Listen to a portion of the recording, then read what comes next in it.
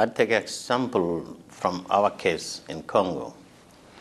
Uh, seven years ago was about 12,000 fixed line in the whole country, and the analog line was about uh, 10,000. Uh, despite the war uh, uh, ongoing for some time, when I first launched there, uh, nobody could believe that we will succeed or even survive. Uh, today you have 7 million subscribers there. so the potential uh, for telecommunication in Africa, which is uh, estimated to be about, uh, I believe, 350 million uh, subscribers uh, to date, I believe that by year 2015, Africa will be close to a billion subscribers, absolutely. The opportunity in the future in Congo is uh, to build the infrastructure. You know, it's a huge country. Uh, you cannot drive from one point to another. Uh, everything is airlift. So the cost is very expensive. And uh, that's what we went through to build uh, the capex, uh, you have to spend a lot of capex today, but the future it will pay off. Uh, the infrastructure, uh, the government, uh, I believe uh, now, as the whole world is focusing to assist the elected government to help build the infrastructures, and it all go together as telecom are doing, the railroad and the airlines and so on. Uh, the cost will eventually come down. I believe in the next five years, uh, things will be definitely improved uh, moving around the country. The mobile banking uh, is picking up rapidly in Congo.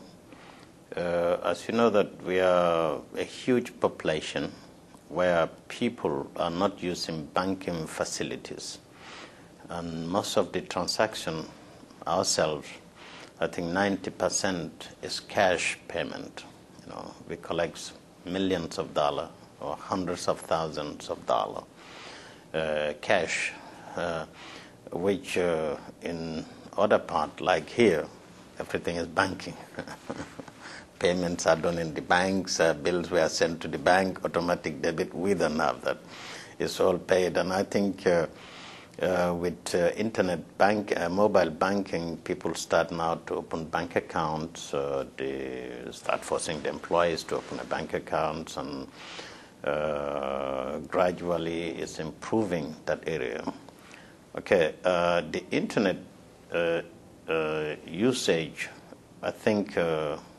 80% of the internet usage in the continent is here in South Africa because the rest is mainly the poor infrastructure or not proper regulatory system and uh, uh, or uh, also for lack of understanding the need that the government should be more flexible to make it uh, uh, working with operators so that uh, to internet will be more accessible to the young generations and uh, schools. Uh, WiMAX is the feature for this continent, for sure. Uh, to uh, we go back again because our place is even more critical.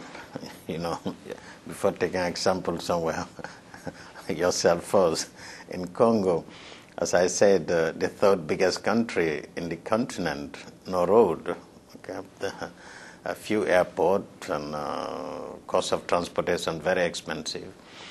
The only area uh, uh for fixed line, which uh, I believe is the future for Congo and the whole Africa, uh, eventually.